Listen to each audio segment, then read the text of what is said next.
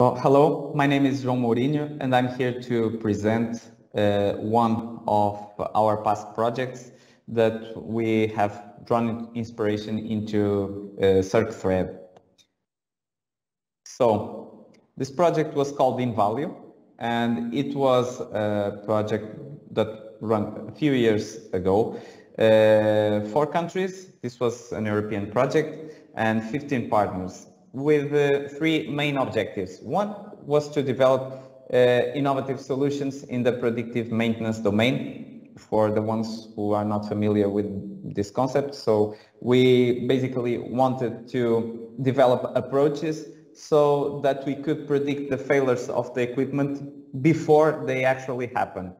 Um, so th that would allow uh, industrial partners to uh, act to perform maintenance in a very planned way uh, before the failure happening uh, so that major disruptions could be avoided and also to reduce uh, the maintenance the maintenance costs because we would be reducing the maintenance uh, operations but still keep uh, the, the equipment in the best uh, condition.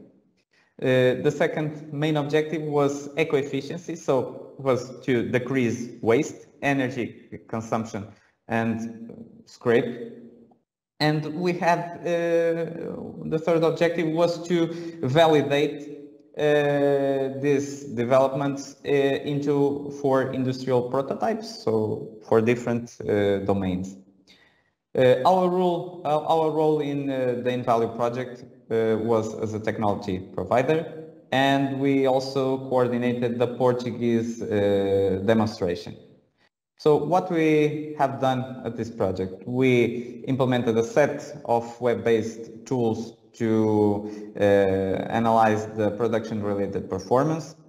Uh, we integrated uh, these tools with, pre with predictive maintenance and eco-efficiency and we have improved, let's say, our asset management module uh, in terms of predictive maintenance and eco-efficiency and added new features uh, such as uh, awareness, uh, information exploration, and uh, the connection to uh, IoT platforms.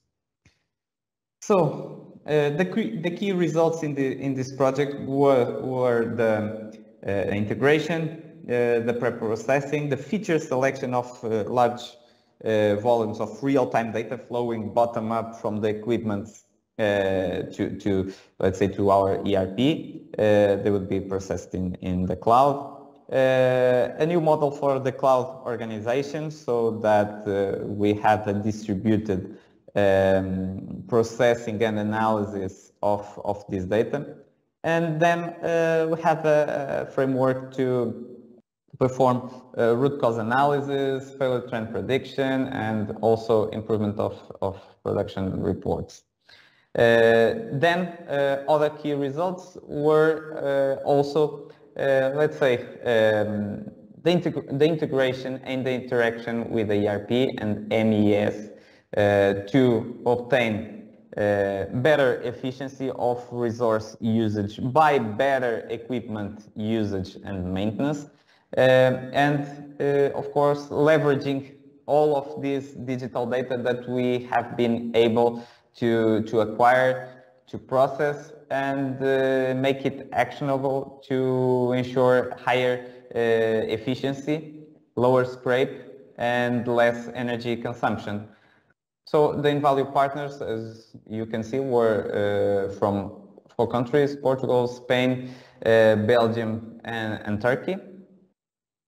And basically this was uh, what we have uh, been doing and uh, some of the lessons that we can uh, extract from, from this project. This was an early project. So we were working in the beginning, let's say, of uh, efficiency and, and uh, to some extent circularity. And we hope that at, Circ, that, at CircThread we can make the most of our previous experience on, on these topics.